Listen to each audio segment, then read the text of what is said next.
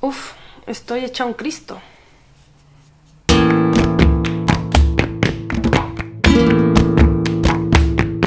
Hola chicos, sono Alba di Egnes, ma oggi non vi parlerò io. Oggi vi parlerà la Alba del passato. Sì, l'anno scorso ho fatto un video con quattro espressioni spagnole relazionate con questo periodo, con la Pascua, la Semana Santa.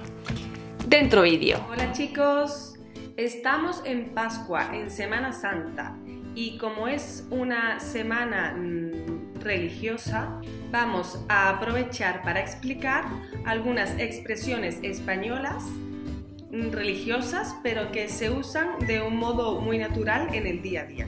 Por ejemplo, tenemos la expresión estar en misa y repicando. Repicar es hacer sonar las campanas de una iglesia. Misa, eh, la mesa. Entonces, estar en misa y repicando significa que una persona quiere estar en varios sitios a la vez. Cuando estás en una reunión con amigos, por ejemplo, y estás hablando por teléfono, pero contestas a la conversación de amigos. Esa persona quiere estar en misa y repicando.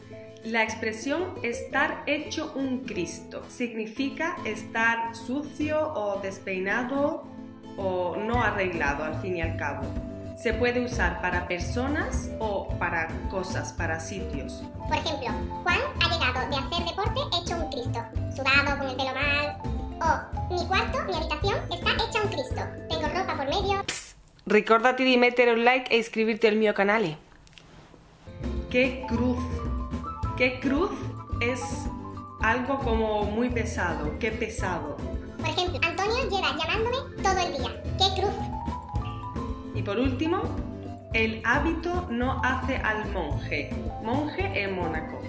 Significa que una persona, por más que se vista de una manera, no va a ser así. Hay que trabajarlo, hay que tener mentalidad de ello. Un ejemplo muy claro puede ser una persona que nunca hace deporte, pero se compra ropa